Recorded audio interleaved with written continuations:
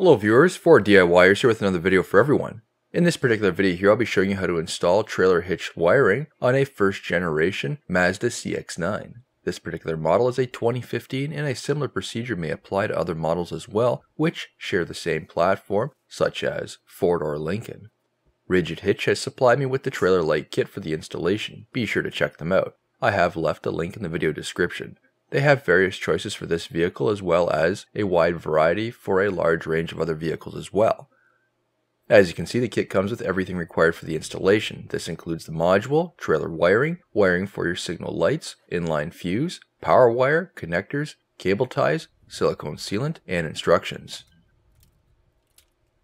Simply lift up the hatch for the storage compartment, remove any items inside. Then remove the one side hatch. It simply clips into place. Now lift out the center portion.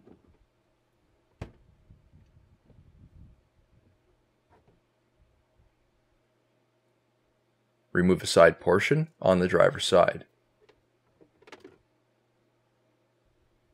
Put your hands underneath the trim panel along the back and then pull up. This will have two clips on each side, so four in total. Using a standard screwdriver, flip up the caps for the bottom tie down areas. Pull out the hooks on the top storage tie down retainers. Behind both of these areas will be 10mm bolts that need to be removed. Use a 3/8 drive ratchet for this.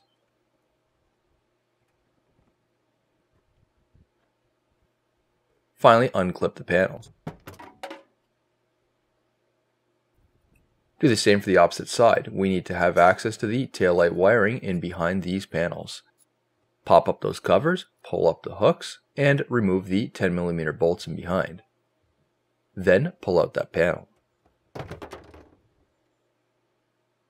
It's hard to see here, but there is a wiring harness in behind the trunk hatch lift motor.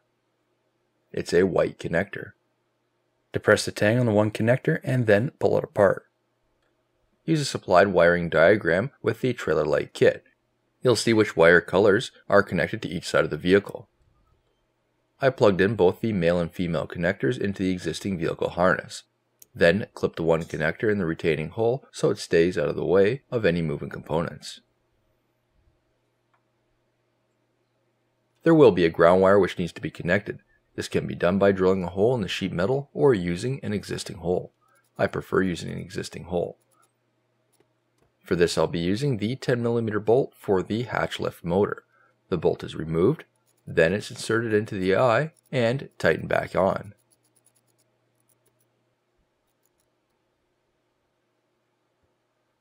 On the opposite side I'm doing the same procedure with the light connector disconnect the existing connector, and then plug in the trailer light wiring. Clip in the one connector to the retaining hole. The module will be mounted on a flat surface in behind the trim panel using double-faced adhesive which was supplied with the kit. Using rubbing alcohol or window cleaner, remove any contamination on the surfaces for both the steel and in behind that module box. Stick on the adhesive pad onto the module. Now stick the module onto the flat surface, firmly pressing it down. Cleaning up some of the wiring, use these supplied cable ties. Tie the wiring back so it stays out of the way of any components and doesn't get caught when installing the trim pieces. The black power wire coming from the module box needs to be hooked up. This can be connected directly to your battery, however I will be picking a simpler method. Twist the exposed conductor's wire strands, then using a butt connector, crimp it onto the black wire's exposed conductor.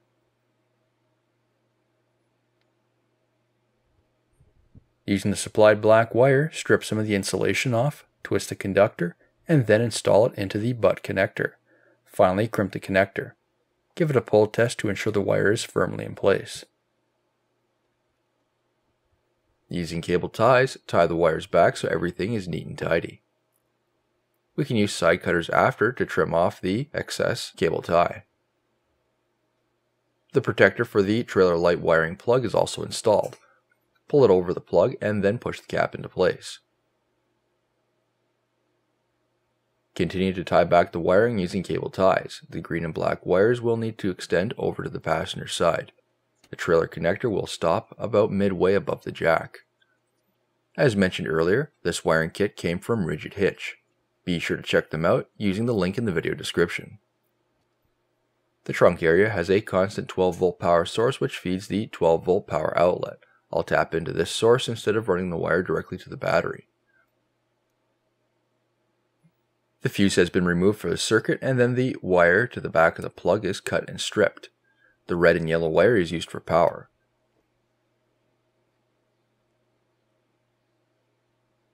The wire strands are twisted together. The one side will have the inline fuse connected. I then used a bare butt connector to crimp onto the connection. Heat shrink is applied to this connection. This will strengthen up the connection and provide a good seal as well. After that, the opposite side is inserted and crimped into the connection. A heat gun is used on the shrink tube.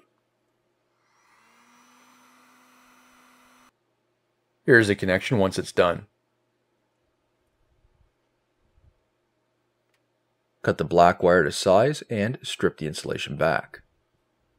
Insert the butt connector and crimp it into place. Now crimp the butt connector again, this time on the inline fuse wire.